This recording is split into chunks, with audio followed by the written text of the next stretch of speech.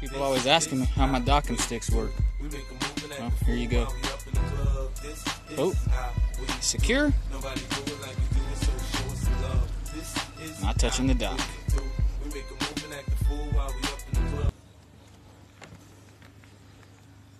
Bam.